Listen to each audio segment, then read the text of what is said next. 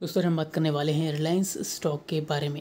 तो शुरू करते हैं आज के 15 मिनट चार्ट की मैं बात करता हूँ करीबन आधा परसेंट की तेज़ी हमें देखने को मिली है। यहाँ पर देखिए, उनतीस सौ पचानवे रुपये पर ट्रेड करता हुआ स्टॉक नज़र आ रहा है वहीं।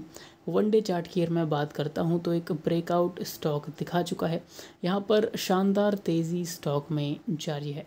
अगर यही तेज़ी कंटिन्यू रहती है तो आने वाले ट्रेडिंग सेशंस में जो टारगेट स्टॉक अचीव करेगा, वो है three thousand fifty three thousand one hundred तक के टारगेट भी रिलायंस अचीव कर सकता है।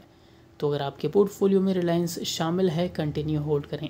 यहाँ पर फ्रेश बाइंग का मौका स्टॉक बना रहा है, बिल्कुल ऐड करके चल सकते हैं। तो यही स्ट्रेटजी आपको अपनानी है रिलायंस स्टॉक में। वीडियो देखने के लिए आपका बहुत बहुत धन्यवाद।